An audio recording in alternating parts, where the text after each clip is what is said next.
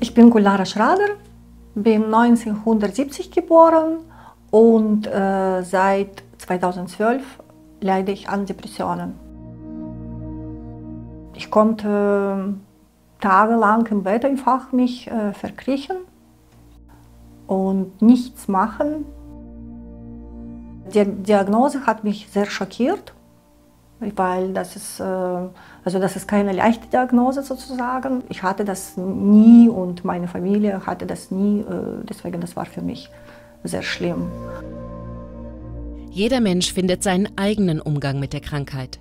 Dieser Film ist ein persönlicher Erfahrungsbericht. Ich habe 2010 äh, einen deutschen Mann geheiratet und wir sind äh, mit meinem Sohn äh, aus Kasachstan nach Deutschland äh, umgezogen im gleichen Jahr.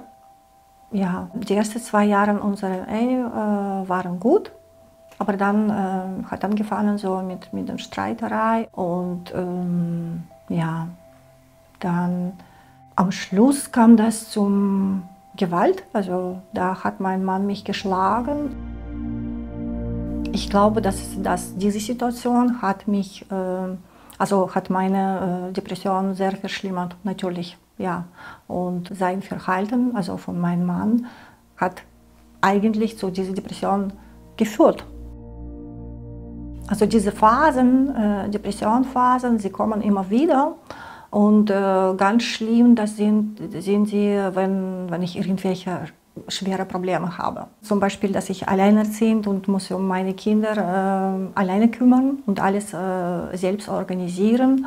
Und andere Sachen, das sind äh, diese ähm, bürokratische Sachen, ja, wo zum Beispiel irgendwelche Behörden wollen von mir irgendwelche Formulare ausgefüllt äh, werden und irgendwas äh, Nachweise schicken und so dann wird das Kopf voll und ähm, ich denke, oh, wie geht es weiter? Anfang äh, 2018 ging mir äh, sehr schlecht, also wirklich sehr schlecht, dass ich äh, mir äh, Hilfe holen musste, weil äh, ich dachte, ich, ich komme nicht alleine klar. Deswegen ich habe mich selbst freiwillig in dem psychiatrischen Klinikum äh, gemeldet ähm, diese Verhaltenstherapie, was ich dort gemacht habe im Klinikum, äh, hat mir äh, sehr gut geholfen, äh, selbst mit Problemen umzugehen, äh, dass die Probleme wirklich nicht so aussehen, wie sie aussehen, wie, wie, wie wir sie sehen. Und deswegen, ich mache mir das so, dass ich Stück vom Stück alles regle. Ich mache einen Zettel, dann, wenn das alles äh, erledigt ist, die Sache erledigt, dann streichle und dann freue ich mich, dass eine Problem weg ist und gehe weiter. Dass ich mit meiner Depression besser umgehen kann. Äh, ich tue äh, Sachen, die ich sehr gerne mache. Ja, zum Beispiel, äh, ich nähe gerne, ich gehe regelmäßig ins in Fitnessstudio, weil das tut mir äh, sehr gut. Das ähm, lenkt äh, vom, vom schlechten Gedanken ab.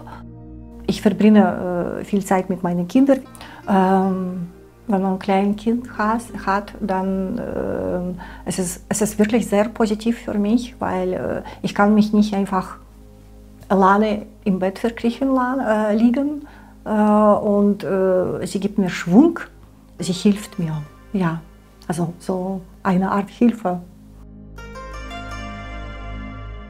Die Angst kommt manchmal auf mich zu, dass ich vielleicht nochmal irgendwie in dieser ähm, Episode lande, aber da mache ich diese Gedanken weg. Einfach fuck, raus aus dem Kopf.